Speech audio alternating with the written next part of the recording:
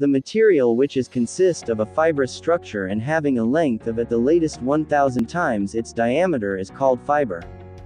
Fiber is a thread or filament. Not all the fibers are textile fibers.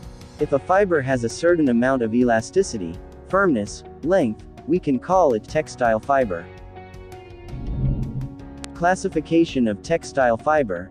Now you are seeing the chart of textile fiber. Now you know details about the chart. Natural fiber. The fiber derived directly from nature we can call it natural fibers. Here are some fiber examples, such as cotton, silk, and flax, which naturally exist in nature in fibrous form. Natural fibers can divide into three groups based on a variety of sources. Example is A. Vegetable fiber. B. Animal fiber. C. Mineral fiber.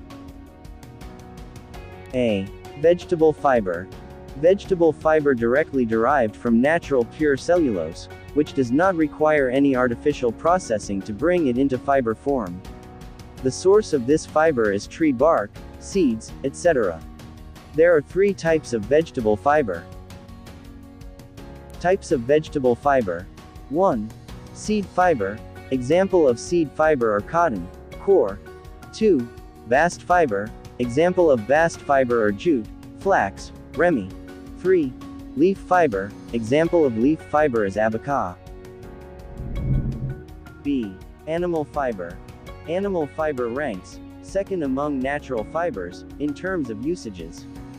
Animal fiber contains protein fiber rich in wool and other fibers, most animal proteins made, where the protein acts as the central structural unit, such as wool, slip.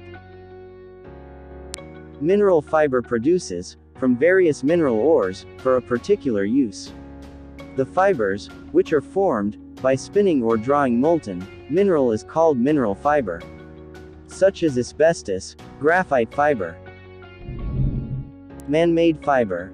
A fiber that doesn't obtain from nature is called man-made fiber. It does not derive directly from nature. There are two types of synthetic fibers. A regenerated fiber, B. Synthetic fiber. Regenerated fiber. Fiber from a solution of a natural polymer and having the same chemical constitution as the natural polymer from which the solution was made is called regenerated fiber. Example: triacetate, acetate, viscose rayon. Two types of regenerated fiber. 1. Regenerated, cellulose fiber 2. Regenerated, protein fiber. Synthetic fiber. The fiber obtained by chemical synthesis is called synthetic fiber. It produces entirely, in the laboratory, by chemicals. Therefore, there is no saturation of nature.